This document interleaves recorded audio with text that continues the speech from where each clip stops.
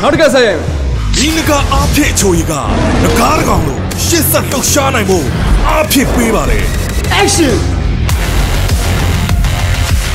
နဂါးတကောင်ရဲ့မန်ဟုန်ပြင်းတဲ့ခွန်အားတွေကလှုပ်ရှားမှုတိုင်းမှာရှိနေတယ်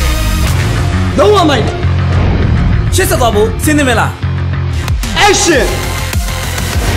ဖြစ်စွမ်းခွန်အားမိနဂါ